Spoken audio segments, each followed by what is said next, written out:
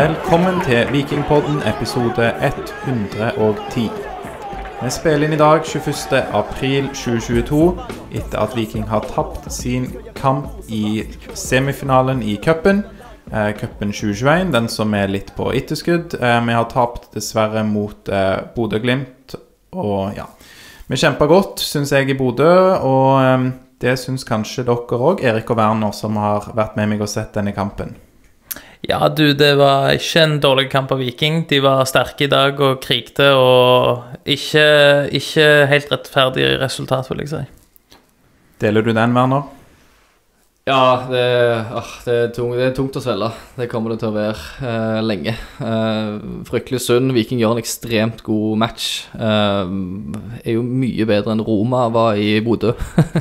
Ja, virkelig. Eh, ja, og um, Nei, nei det, det, er vondt og tungt.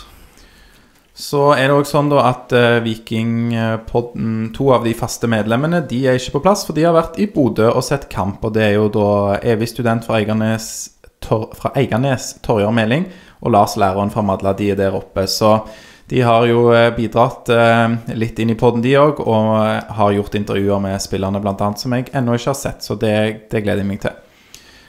Men vi som da så kampen på, eh, på, TV, vi så jo det som alle andre så, at eh, Viking stilte i en 5-3-2.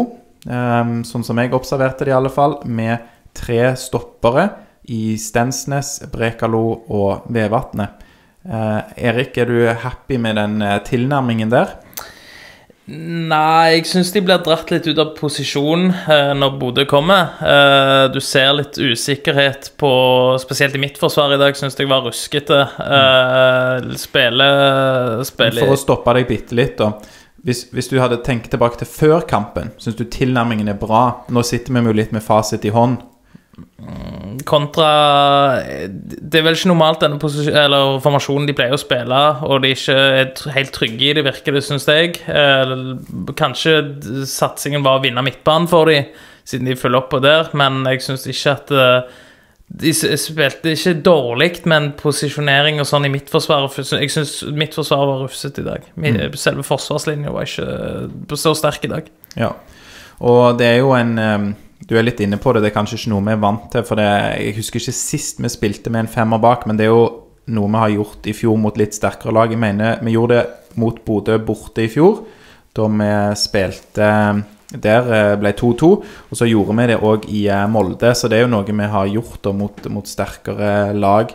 Um, Werner, vi, vi, får inn uh, Viljar i dag. Syns du han på en måte det er hans tur? Men det er hans uh, ja, jeg syns Vilja gjør en kjempefigur, egentlig. Det er jo um, det Og han fortjente å få bli med nå?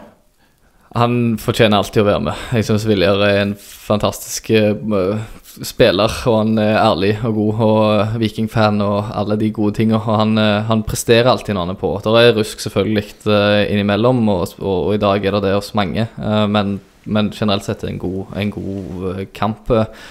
Bare sånn litt før jeg går videre på, på, kamp og sånne ting, så har jeg lyst til å gi en ekstrem hyllest til bortefansen i Bodø. For det er, det er, kult å være nærmere, eller rundt 200 stykker i, i Bodø der på en torsdagskveld. Det er sterkt, det er kult. Og der er det ingen som slår Viking. Nok en gang bra levert av eh, bortefansen til Viking. Absolutt. Ja, litt misunnelig på de som var der oppe. Det hadde vært kult. ja, absolutt. absolutt. Men ja, jeg, jeg syns Viljar fortjente um, å, å, starte i dag. Det er klart at det, med, med, tre stopper bak, og så får disse vingbekkene, så har vi på en måte mer trygghet bak med at vi òg har uh, vi har tre solide stoppere, vanligvis. Uh, det er de jo sånn sett i dag òg. Slipper inn bare to mål med Bodø-Glimt borte. Uh, og så har vi jo da truslene på kantene. Bjørsvold gjorde en kjempejobb på defensivt og, og, og, offensivt, og Patinamo er alltid god offensivt. Eh, mindre god bakover i dag, kan man si. Ja, litt tilbake til gamle synder, for eh, Patinama følte jeg ble, ble mer eh, farlig på, på Bodø-Glimt sin høyre side og Viking sin venstre side. Men um, litt tilbake til de som får spille i dag, da, så er det jo bare for å minne lytterne på det. Eh, Kevin Cabran var ute med karantene. Janni eh, skada. Og eh, Slatko var jo usikker, men vi er jo glad selvfølgelig for å ha han eh, på plass. Og jeg følte det var en skade til. Hvem er det jeg eh, glemmer nå? Nei, det Tenker du på Tripic kanskje at han ikke skulle vært med, men han kom med allikevel. Ja, det kan være det var den. Jensen i morges var vel usikker, i hvert fall. Ja, nei, Ikke på lytterne får, noen flere som skal være skada. Nei, lytterne får tilgi i hvert fall min usikkerhet eh, på det. Men det, det åpner jo da opp for Løkberg i den ankerrollen. Eh, han styrer midtbanen sammen med eh, Nilsen Tangen og Fred Jonsson. Fred Jonsson, som, eh, som kommer inn, da. Så det er en 5-3-2 vi får se der, og det, det begynner jo helt i 100 Viken går ut i 100, Erik. Ja. De, eh, de er aggressive i de første De har de første ti minuttene og vil virkelig vinne dette. Eh, dominere mye av spillet der. og så faller de dessverre veldig derfra. Eh, Så de, det, det er der de taper kampen. Eh, det er første omgang. Og før Bodø-Glimt får sin gode periode i første omgang, så får jo de et rødt kort, eh, Bodø-Glimt, etter seks minutter. Ja, du, du var ikke fornøyd med dommeren i dag, Aleksander? Nei, det var tror jeg et fåtall var. eh, fall fra den mørkeblå sida.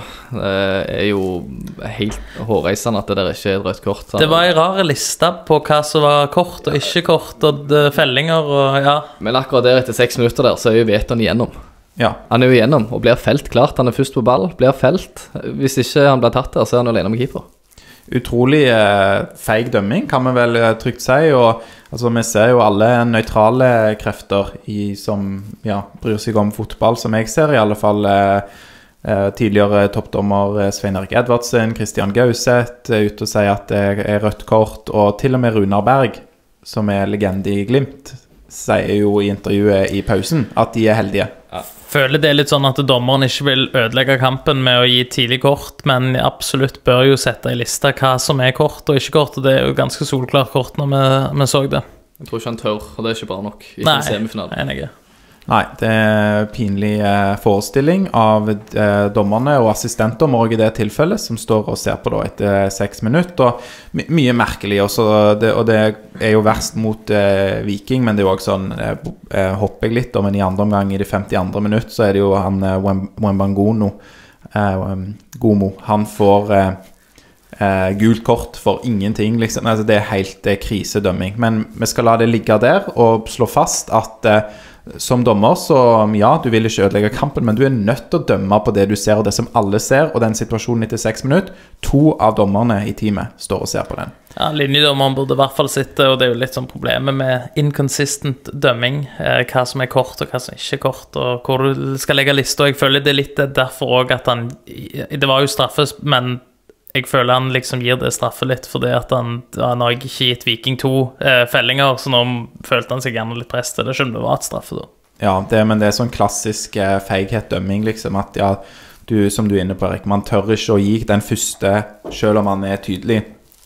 Men da skal man i hvert fall gi den andre, liksom. Så ja, man, Ja, ja, stemmer. Det der er jo frispark hvor, altså hva tid som helst, hvor som helst på banen ellers. Ja, så Altså, kun feighet. ja. Men eh, du hopper elegant videre, Erik, også til dette straffemålet, da. Det er jo eh, bra jobba der av eh, Tripic i bakrom. Ja, det er absolutt godt, og du ser jo at eh, fellingen er veldig klar. Eh, godt satt straffe av Tripic, selv om keeper prøver å psyke han veldig ut. Av, Eh, av Veton, ja. Ja, av, jeg vet han selvfølgelig. Eh, veldig bra satt av han, selv om keeper som sagt prøver å psyke han veldig ut. Og så kommer dessverre Bodø-Glimt sin gode periode, da fra ca. 12-13 minutter og utover eh, Werner. Ja, det gjør det. Jeg har lyst til å skyte inn eh, en kjempesjansen til Patinama. Gått i åtte minutter der han banker den i, i tverra via hånda til, til Haikin. Så der kunne vi faktisk gått i 1-0 før straffen òg. ja. Ja, når, de ikke går, når de ikke går inn, så blir du litt sånn Ok, skal vi ha en sånn dag? Vi hadde jo to stolpeskudd, eller tverrliggerskudd, i dag. Av uh, Sebulonsen og Patinama. ja, det er utur. Uh, men ja, da kommer vi inn i den her lengre perioden med Bodø-Glimt. Uh, dominans, nesten. De er veldig gode i en god periode etter Viking er desidert best de første 10-15. Um, her får de jo òg selvfølgelig uh, får de måla sine. Det første kom jo eh, med Espejord etter, etter 16 minutter, der det kom et innlegg fra venstre fra, fra Solbakken, som Espejord klarer å vinne imellom eh, de to vi har skrøt så ekstremt av hele sesongen. Med, med Stensnes og, og Brekalo. Så Jeg må rette det litt der. Det er mellom Brekalo og Vevatnet. Ja, Ok, ja, Ja. unnskyld. Da, men fortsatt eh, to store stoppere som, eh, som han klarer å vinne duellen der med. Eh, God skåring av de absolutt å vinne. Eh, Det er jo det som er litt mer, mer sånn skrytt sånn av forsvarsstuen til Viking, og hvor sterke de virker, og solide defensivt. Og det er så surt å se at det, det, var skantelig i dag. ja, det som irriterer meg litt, er at Løkberg ikke f- å komme inn igjen. For han må gå jo av der etter han eh, ligger nede en liten stund. Uh, men at han på en måte han vinker seg i hæl før de får den, det angrepet der. De mangler jo òg en mann i det presspillet før det innlegget kommer. Uh, det plager meg ennå. Eh, Men ja, den kommer jo derifra. De fortsetter jo egentlig trykket greit etterpå. Det er litt sånn periodevis bølging mellom minutt 16 og Espejord-mål og det 2-1-målet. Ja, Gilbert kom zoom der. Stemmer det. Og Jeg vil jo si det der i første omgang at uh, når angrepsspillet til Viking blir å slå masse lange baller oppover, det blir veldig panisk. De klarer ikke å få etablert noe angrepsspill, og det er jo- det de taper på, syns jeg, i dag. De klarer ikke å etablere noe. Det blir en lang eh, ball opp mot Berisha, som ikke klarer gjerne å få utretta noe, for midtbanen kom enten for seint, eller så eh, mister han ballen, rett og slett. Ja, for midt, Midtbanen står jo igjen nede, sant? for de på en måte har jo kjempa mot et etablert angrep fra Bodø-Glimt i, i lengre perioder ofte. Og når de endelig får han, så klarerer de opp mot cornerflaggene, sant? og så blir Veton springende etter og, og ikke klarer å ta de duellene, da, eh, fordi at de kommer ofte i lufta. Um, selv om han er sterk der, han er god å gå i kropp, så må han- ballen i hvert fall treffe han på et eller annet vis for at han skal kunne gå i duellen. Um, så det er synd. Uh, minutt 38 kommer jo egentlig ganske likt mål som det Espejord sitt, uh, anten at det ikke var på hodet. Så er det fortsatt fra Solberg uh, Nei, Solbakken, unnskyld. Um, med et innlegg fra venstre, som igjen uh, stikker mellom uh, Eller på, bak, bak forsvaret til Viking, der Komsom får en, får en flikk med høyrefoten, som flikker i lengste. Da. Der igjen er det ikke press nok på, på, på sida der som klarer å ta ut Solbakken før det innlegget kommer. Nei, eh, samtidig så var vi jo òg eh, eh, Snakk nevnte jo så vidt eh, Bjørsol og, og Patinama. Jeg føler jo eh, Bjørsol har egentlig grei kontroll på sin side. Klart Bodø-Glimt er et godt lag, og de får spilt en del der. Men um, Lunde Åsheim er jo òg inne på det i pauseintervjuet på, um, på TV-sendingen at de, det er jo òg å forsvare egen boks i dag. Det, det skranter litt på. Uh, at, og han, det er noe som han er, er skuffa over, da. For jeg føler det er um, Ja, de kommer rundt, og de har en del farlige inn fra sidene, Bodø-Glimt. Men, eh, men det er ikke sånn at de på en måte har eh, 20 farlige legg, og så skårer de på to. Det er, en- det er høy uttelling på de, for, de, for Bodø-Glimt i dag. Så det er jo klart at eh, spillerne og trenerne vil være skuffa over det, da. Ja, de har ikke, Bodø har så mange sjanser i dag, og de er eff veldig effektive i forhold til det Viking klarte å være. Dessverre. Det er de. Um, Viking eh, eier jo andreomgangen, kan vi ikke si oss eh, enig i det? Jo. Jo, uten tvil. Bodø-Glimt ser ut som et kontringslag, eh, og de har et par farlige kontringer òg, men det er, jo, det er jo Viking sin omgang. Viking våkner mye mer i andre omgang og ser da, da skal de ja, eh, jage mål, men så blir det litt det, det, Vi snakket litt, snakket litt om det angrepsspillet som det, det mangler lille ekstra. Det mangler slutten som skal bli sluttproduktet på angrepet. Ja, de, eh, Viking, er, Viking er bedre hele andre omgangen, uten tvil. De uh, kommer ut med et helt annet presspill. De fungerer bedre. De trykker hele presset lenger opp i banen, eh, som de starta. Uh, men de slipper seg sjøl nedpå i slutten av andre eller etter de 10-15 første minuttene i første omgang. Og det henter de opp igjen og holder egentlig ganske solid press på Bodø-Glimt hele omgangen i andre omgang. Det- Ja. Bodø-Glimt får jo noen muligheter, men det er stort sett Viking som, som tar det. Det sa jo òg uh, Batty i, i pausen, at de, de må ut på å flytte spillet opp. Bli bedre pressa offensivt. Ja, det, det syns jeg vi ser eh, hele andre omgangen helt enig. Og Viking eh, tvinger Bodø-Glimt til å spille langt ut fra keeper. Ofte låse av der de må. Eh, så får man heller en duell på midtbanen der det er 50-50. Så det gjør de på en, en veldig god måte, og har jo òg det meste av banespillet, Viking. Men du var jo litt inne på det, Erik. Det er, det er kanskje et par for få strenger å spille på, da, i, i angrepsspill. Altså det som skal skje inne i 16-meteren. Men når de skal spille sånn som så, sånn så det utvikler seg i dag, mer, da ville jeg hatt litt mer gjennombruddspasninger. For de har, i hvert fall andre omgang, så blir de veldig overtallige. De kommer på mer press, som Werner sier, høyere press. Uh, litt uh, gjennomsbruddspasninger hadde vært mye, gjort mye, tror jeg, her for i dag, istedenfor disse her til vingene. Og så kommer det ikke noe overlapp til vingene fordi de spiller med en treback-linje. Uh, de, de liksom, ja Det blir litt tamt der framme med å bare holde på å slå på innlegg på innlegg, så ikke ender opp til noe. Ja, helt enig. Og eh, ja, det med den trebackslinjen og, og Bjørsol og um, godeste Patinama, det, det blir veldig tydelig utover i andre omgangen. Der er det på en måte Og når Sandberg kommer inn da i posisjonen til Patinama, så er det slitne bein, og det kommer jo ingen på overlappen. Det måtte jo vært indreløper, da, eller Ja. Slatko som kommer på, på overlappen, og da blir det litt statisk. Det er ikke sånn at det jobbes ned mot krittet da, for å få farligere innleggsmuligheter. Eh, Sandberg gjør et godt innhopp, han, syns jeg. Men, eh, men det er vanskelige arbeidsforhold da, når de andre er slitne, og man ikke har på en måte den samme muligheten til å doble på kant som man har i 4-4-2. Og det er det jeg føler bekkene til, og vingene til Viking har vært gode på, det er disse overlappene. Eh, Det er det de har spilt veldig sterkt på, å komme på sånne overlapp, så gjør de veldig farlige. Spesielt Patinama har jo vært god på det, å komme på skarpe overlapp. Så litt synd at det ikke blir benytta mer i dag. Og, og det du nevnte òg, Erik, om å komme igjennom i midten da, for gjennombruddspasninger Jeg føler jo vi ser prov på mer av det når Solbakken kommer inn. For han er Jeg syns han gjorde et, et veldig godt innhopp og em, god med ballen i beina. Og selvfølgelig ballfordeler på en helt annen måte enn det eh, Løkberg er. Og litt interessant syns jeg å se måten han ble tatt ut av kampen på mot Odd. Da var det frimerke på han hele kampen. Mens nå kom han inn, og Bodø-Glimt eh, har ikke, tydeligvis ikke fått noen instruksjoner om at kommer han inn, så skal vi ta han ut av kampen. Da er det jo selvfølgelig å forsvare som lag mot Viking, og da har han bedre arbeidsforhold, og syns han eh, fordeler ball på en eh, god måte. Da får man en ekstra dimensjon, men det kommer kanskje litt seint. Ja, eh, han kommer mye mer søkende for å hente ballen ned til, til Forsvaret. Eh, gjør, han er jo den som ofte kan slå avgjørende pasninger og se etter medspillere. Eh, så positive tendenser fra han i dag. Det er litt dumt at han ikke spilte lenger, vil jeg òg si. Det er litt når de klarer å etablere spillet da, og fortsette med en innleggstaktikk på den måten de gjør, og så er det kun Veton, på en måte. Veton er jo ikke den som ruver høyest i de duellene. Uh, Han er god dra-av-spillere, men han, han vinner jo ikke hoveddueller. Der savner jeg jo en, en Nå har jeg jo syns Mai Traoré har vært god de siste innhoppene, og igjen i dag. Han virker frisk i dag. Positiv når han kommer inn. Um, og hvis de innleggene skal fortsettes med at vi får inn f.eks. En, en Karlsbakk og en Mai Traoré litt tidligere enn det vi gjør, selv om de, de var gode i andre omgang uansett, så jeg skjønner at det er vanskelig å ta det byttet. Ja, men det kan jo godt komme litt før. Jeg føler jo Viking slukner jo litt, i alle fall før Mai Traoré kom inn, som igjen er frisk opp, Ja. og kom inn i det 85. minutt rundt der. Så enige om at vi håper å få se han mer eh, tidligere, i alle fall, som innbytter. Ja, når de ser at kampen utvikler seg sånn med mye innlegg, så burde de jo gjerne ha tenkt eh, Karlsbakk eller Traoré inn litt tidligere. For de er jo mye, mye mer hodestyrke og kraft inni der enn det gjerne Veton gjør. Men apropos innlegg, cornerer, gutter. Åh, ja.